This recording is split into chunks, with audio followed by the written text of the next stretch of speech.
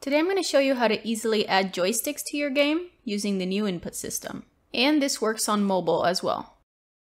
So first you need the new input system, which you can go to Window, Package Manager, Unity Registry, and then you scroll all the way down until you see Input System. And you can just click Install here, make sure that you have version 1.0 or above. I'm using 1.1, the new preview version. If you want the preview version, just go to Advanced Project Settings in the settings up here, and then Enable Preview Packages. So once you have your scene set up, all you have to do to add a joystick is right click UI and then add an image.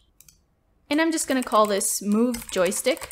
So this is the joystick to move. And in the canvas, I'm gonna make sure to set the canvas scaler to scale with screen size with the resolution of 1920 by 1080. So this makes sure that our UI elements scale as our screen increases or decreases size. Then in your joystick object here, I'm just gonna select this here and pivot it to the bottom left. So to pivot it, click Shift, and if you also want to set the position, click Alt. So Shift and Alt, and then click the bottom left. And now I'm just going to increase the size 2 by 2, the scale here, under the rect transform, and in the scene I'm just going to move it a little to the side and up. So this is your joystick, and really all you need to do is add in an on-screen stick component. So this comes with the input system, and if you already click play, you can actually move around this as if it were a joystick. If you'd like to increase the range that it can move around in, you can set this movement range to a higher value, let's say 100. And now you see that we can move it around much more. But how do we actually pipe these values to a control? So right here under control path, you can select a path that you want to pipe the on-screen stick values to. In this case, I usually go with gamepad. So gamepad and there's two sticks, the left stick or the right stick. Usually you move with the left stick, so I'm going to select left stick. And so what this is doing is basically, as you're moving the joystick, which is a vector 2 delta, so it's measuring the change in position, it's overriding the left stick gamepad values. So in your code, wherever you're reading the left stick gamepad values, it'll basically be actually these joystick values. And I'm just gonna make another joystick for the look. So I'm gonna click the move joystick, control D, F2, look joystick. F2 just changes the name. And then I'm going to select this thing to pivot and set the position. So set the pivot shift, alt, and click the bottom right. And just adjust it as you see fit. You can make it match the other one, roughly. And now make sure to update the control path. So here I'm going to put gamepad and right stick. So now that we have these control paths set, we actually need to have these values in an input action. And so for that, you can just go to your scripts folder or wherever you want and right click and create a new input action. Just gonna call this player controls tutorial.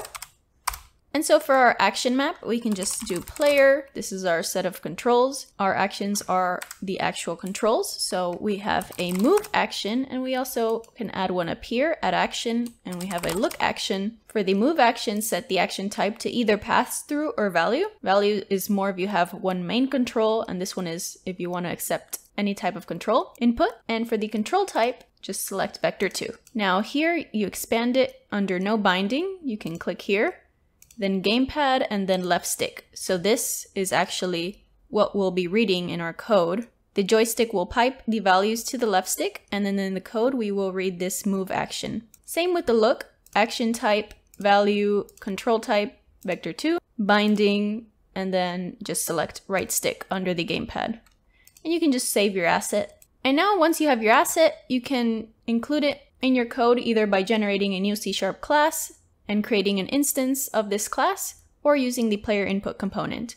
But I'm not going to go over that in this video because that's more of making a character controller, which I have tons of videos on if you're interested. But to show you how I did it, I have my player with a player input component, which I've dragged in my player controls, which is very similar to the one I just made, except with jump included. And then in my player controller script, which if you're interested, it's the character controller.move script from the documentation, which I'll link in the description. All I'm doing here is reading those values, so I'm getting a reference to that player input component right here, get component, and then here I'm just saying player input dot actions, and here in this case it's the move action that I'm putting in to move.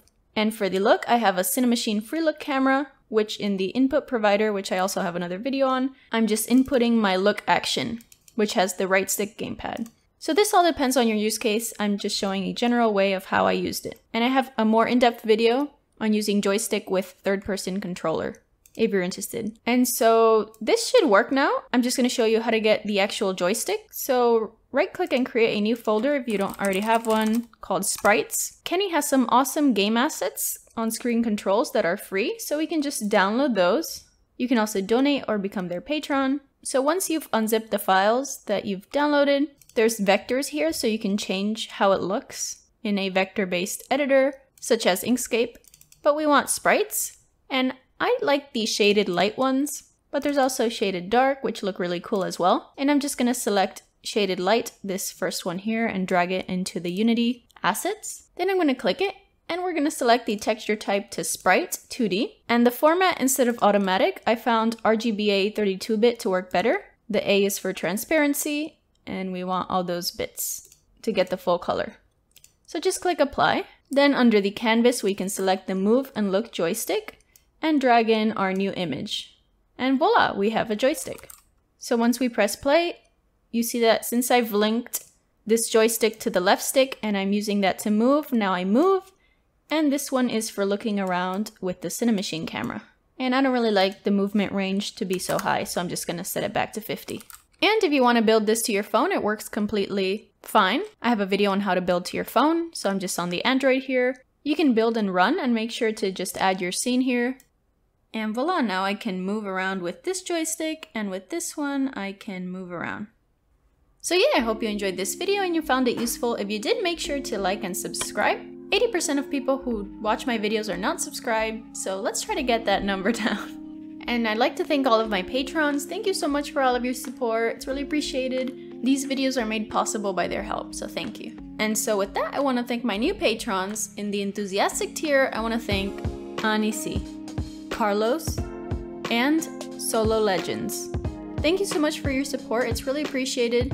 And if you're interested, the link is in the description. I offer source code early access and an exclusive Discord chat. And if you aren't already in the chat, make sure to join. We have memes, you can post questions, or just chat. So thank you so much for watching and see you next time.